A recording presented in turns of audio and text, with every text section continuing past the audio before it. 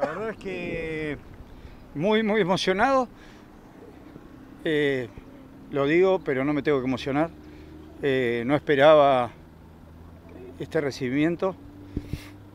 Eh, estamos, me están recibiendo a mí, pero estamos homenajeando a, a mis compañeros.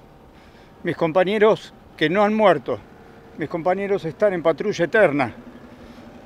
Mis compañeros son un ejemplo de lo que pueden dar los submarinistas argentinos.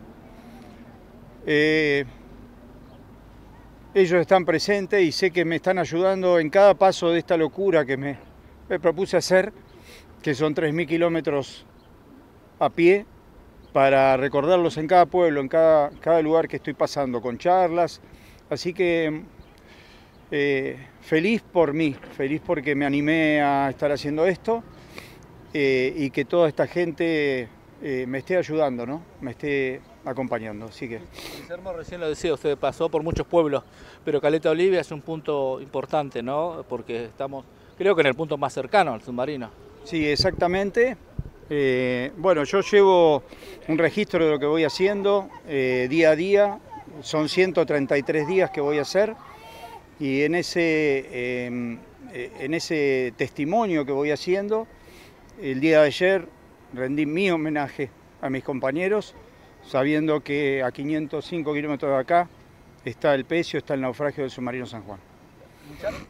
Ya ha atravesado más de la mitad del camino, creo que estamos a alrededor de 1.600 kilómetros de, Mar del Plata y le quedan unos 1.400, ¿no? Sí, exacto, está, ya he pasado la mitad del camino, eh, duro, o sea, he pasado cosas duras, eh, pero, pero bueno, entusiasmado, o sea, seguir adelante, digamos, todo esto me da una fuerza que, que, que es increíble, ¿no? La verdad es que tanto cariño de la gente, de los medios, eh, ¿qué puedo decir, viste? La verdad es que me faltan palabras realmente. ¿Conocía este lugar? Eh, bueno, ¿sabía del clima patagónico? Eh, sí, sí, conocía de la Patagonia, yo soy marino, así que he navegado toda mi vida en, la, en el mar argentino. Eh, pero bueno, muchas veces bajo el mar y bajo el mar eh, no, no, se nota lo que pasa arriba, ¿no? Bueno, la verdad, este, emocionante como mencionaba Guillermo, este, bueno, fuimos a recibir el, ingreso a la ciudad, el ministro de Seguridad también haciendo lo suyo, o sea, reconocimiento este reconociendo este gran gesto, ¿no? Hoy es un día donde está haciendo patria, donde está poniendo en valor a aquellos 44 héroes que con este gesto le damos vida y, un mensaje, ¿no? Prohibido olvidar.